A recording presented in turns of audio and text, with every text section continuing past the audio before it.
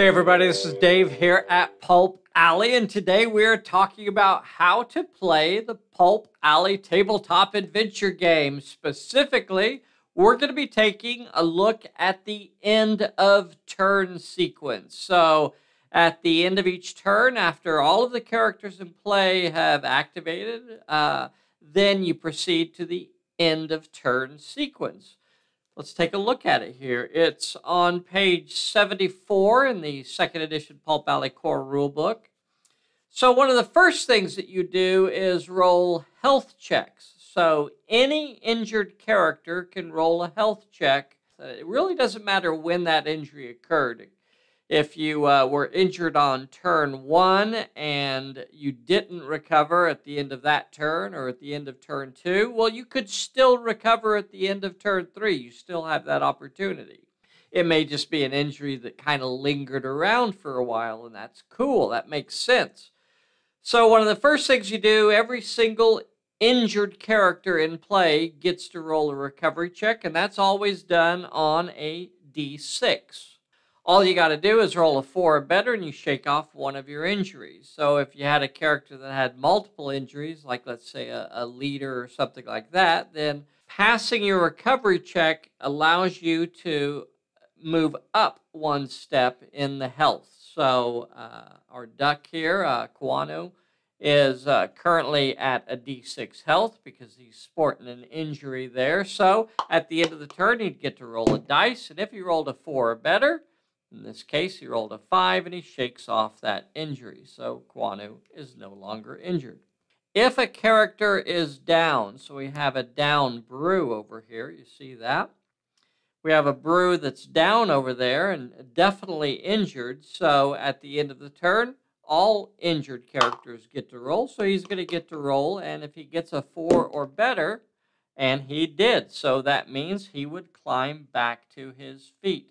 So a, a, if a character is down and they pass their recovery, they go back to a D6 health. It doesn't mean that they automatically re, you know, heal to full or anything like that. So like Kawano here, if he was injured and he, he was down and he passed a health check, well, he would come back to his feet, but he would still be below full health because that would just put him at a D6 health at the next turn, he would still get another recovery and could, could eventually get back to D8 health. So that's kind of cool, you know. Uh, your characters can bounce back after they get injured. They can bounce back. That's that's uh, pretty handy in an adventure game, and you see that in adventure movies and novels and stuff like that, and professional wrestling. so if a character is down and they fail their their recovery check, then they are removed from play, and that is how a character gets removed from play. If once again, if a character is down and you fail to recover, then that character is removed from play. All right, another thing that you could do uh, during the end of the turn is roll a recovery check for horror effects. So let's say uh, Kwanu is uh, affected by uh, some sort of evil spirit here, and he has picked up two different horror cards as a result. So, in addition to getting to roll for his uh, recovery check to shake off his injury, he also gets to try and recover from any horror effects that are on him. Now, you only roll one dice, and if you succeed, in this case, he did not succeed and that means both of these effects remain in play. If he passed his horror check, then he could choose one of these to remove from the character card. So the player could actually look at it and go, you know what, that one doesn't really hurt me that much. This one, oh, I don't want that one on me. So they can choose which one they get rid of.